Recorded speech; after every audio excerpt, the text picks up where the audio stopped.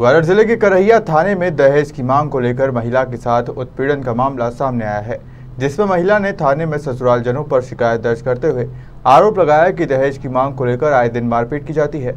तो वहीं महिला ने अपने नंदोई पर दुष्कर्म करने का आरोप लगाया। करैया थाने में एक महिला ने अपने ससुराल जनों के खिलाफ दहेज एक्ट व दुष्कर्म का मामला दर्ज कराया। पीड़ित महिला ने थाने में शिकायत दर्ज करवाते हुए आरोप लगाया है कि उसकी शादी गुरपाल सिंह से 2020 में हुई थी। शादी के बाद पति गुरपाल व ससुराल के अन्य लोगों द्वारा उसे मायके से पाँच लाख और दस तोला सोना लाने की मांग की।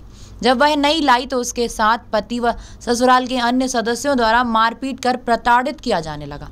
वहीं जब वह एक दिन घर में अकेली थी तो उसके नंदोई ने अकेला देख पीड़ित महिला के साथ दुष्कर्म किया।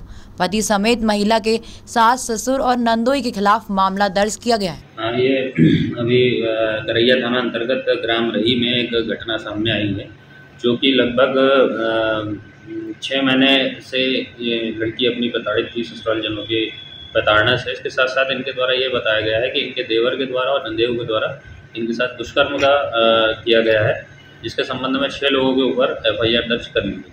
हाँ ये नवंबर 2021 से इसके साथ दुष्कर्म की घटना हुई है और 2020 में लगभग इसकी शादी हुई थी। इसके पश्चात ये अपने घर वालों से सलाह मशवरा करने के बाद थाने आई है। घटना के बारे में जानकारी थोड़ी इन्होंने फरियादिया द्वारा लेट दी गई है। और जैसे ही ये थाने पे तत्काल इनके खिलाफ अपराध पंजीबद्ध किया गया आरोपियों के खिलाफ और इनकी तलाश जारी जल्दी इन्हें गिरफ़्तार किया जाएगा संभागीय हेड इमरान खान की रिपोर्ट।